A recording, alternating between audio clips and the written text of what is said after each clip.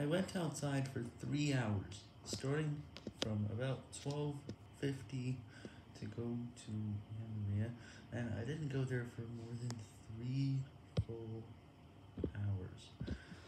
And I hadn't gone there for years. Remember last time I went there, I had a few videos of it. It's in a five minute video, which you can see on my channel, and it's called, it's freezing. I do have a few seem to use these on my early videos, but yeah.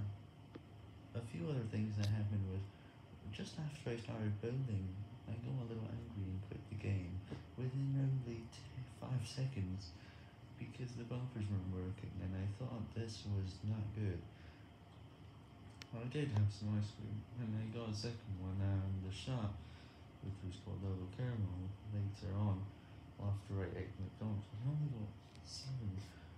I only ate 7 nuggets instead of 5, 6, maybe even 9.